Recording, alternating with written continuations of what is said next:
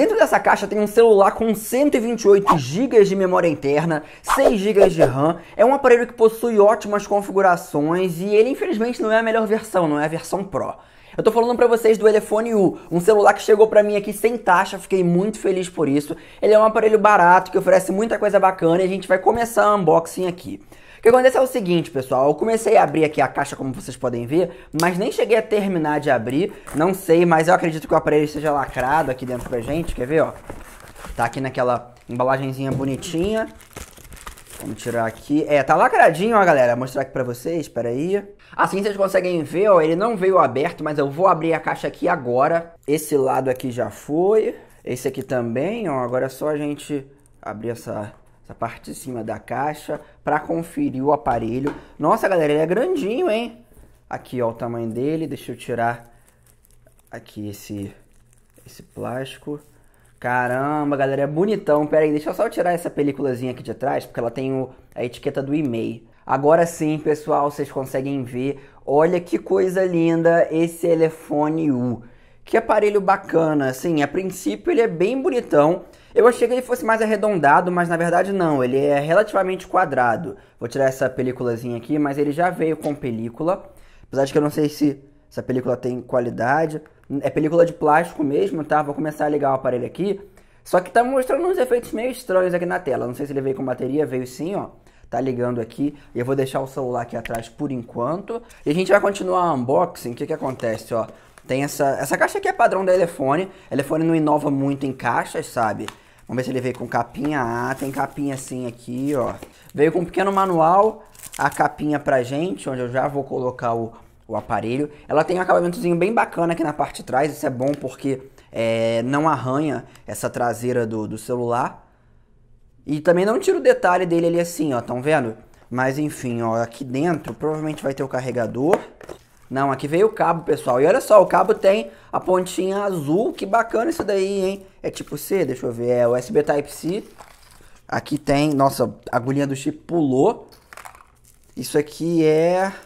Ah, o adaptador para fones, pessoal. Ele não possui entrada nativa de fones de ouvido. Você tem que usar um adaptadorzinho ali para usar os fones. Já nessa outra caixinha aqui vai estar o carregador, ó. Carregador também padrão da Elefone, é de 5 volts 2 ampere, ou seja, não possui nenhuma tecnologia assim muito especial. Mas beleza, o celular já está ligado aqui, eu vou colocar já o português, fazer a configuração inicial e agora eu vou mostrar um pouquinho dele para vocês, né? Colocar uns apps, testar algumas coisinhas para a gente conferir um pouco do sistema aqui.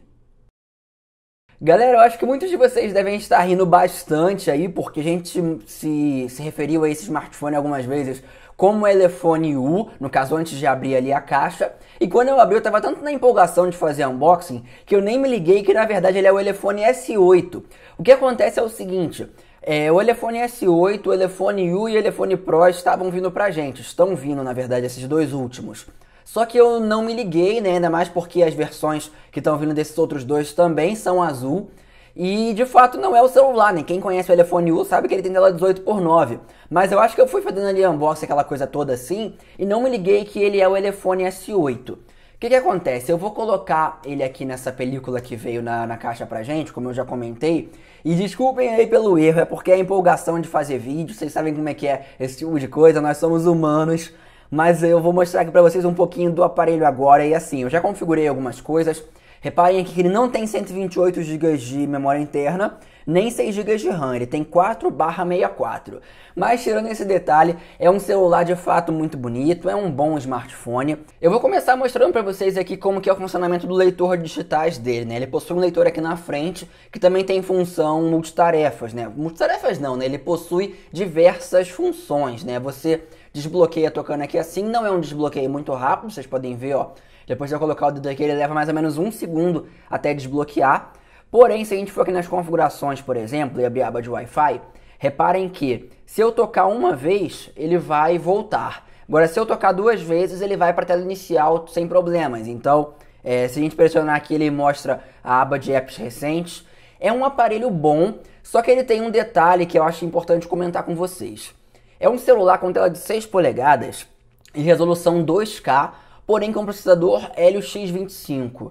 Eu sinceramente não ponho fé nessa combinação, pessoal. Não é preconceito contra a MediaTek. Eu gosto muito do processador Helio P25, já usei alguns outros processadores, até o X25 em alguns celulares que se saíram muito bem, mas eu acho que isso daqui é muita tela para pouco processamento. Então pode ser que a gente tenha alguns problemas no desempenho desse celular. Não sei, de fato não sei, vou fazer os testes. Peço que vocês comentem aqui embaixo tudo que vocês quiserem ver a respeito desse smartphone aqui, afinal, ele parece ser um celular muito bonito, tem boas é, especificações, só essa combinação aí de tela 2K com o LX25 que eu não gostei mesmo. Falando nisso, deixa eu mostrar um pouquinho do design para vocês, porque de fato ele é muito bonito. Tirando aqui a capinha, na parte de trás ele faz esse efeito aqui igual do Honor 8, né, que é bem bacana com a traseira aqui de vidro. Isso deixa o celular um pouco frágil, mas é só usar a capinha que você corrige um pouquinho desse problema. Câmera de 21 megapixels aqui em cima, logo da Elefone.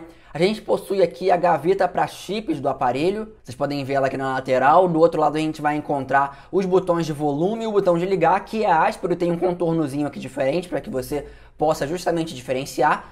Aqui em cima, pessoal, ele vai ter basicamente. Peraí, deixa a câmera focar. Eu acho que a nossa câmera não está querendo focar automaticamente hoje, pessoal, mas vocês podem ver que a gente tem um pequeno microfone. Na parte de baixo ele possui USB tipo C, dois alto-falantes, mas eu acho que só isso daqui vai funcionar. E aqui na frente ele possui algumas coisas bem interessantes também. Primeiro, o fato de que, como ele possui tela sem bordas, a câmera fica aqui embaixo. E a segunda coisa é que, por incrível que pareça, isso daqui não é um sensor de luz ambiente. Na verdade, isso aqui é nada mais nada menos do que um flash. Eu vou abrir o aplicativo de câmera aqui para vocês, até para o vídeo não ficar muito grande. Já vou mostrar logo o app de câmera. É aquele app padrão da telefone de outras empresas lá de fora. É um app que eu não gosto muito, então a gente vai testar um pouco essa câmera aí antes de comentar sobre a qualidade dela para vocês. Só colocando aqui na frontal, a gente vai ter que inverter ela. E reparem aqui o flash, ele possui três níveis. A gente pode ligar no nível baixo, no nível médio e no nível alto. Não sei se a câmera vai conseguir pegar essa diferença aí entre os níveis, mas eu vou testar ele aí à noite pra gente ver como que as fotos vão se sair. De qualquer jeito, eu já tirei algumas fotos aqui, vou mostrar na galeria, ó. As fotos, não dá pra dizer muita coisa delas não, a princípio, porque aqui a gente consegue ver bastante detalhes, bastante coisa assim, mas eu tenho que testar de forma mais profunda. Aqui a gente testou a câmera enquanto estava conversando, então é, acabou não ficando muito legal, mas vocês podem ver aí assim que a gente tem que testar mais para dar a opinião final sobre essa câmera aqui. Já coloquei alguns aplicativos, algumas coisas assim, mas só o básico mesmo.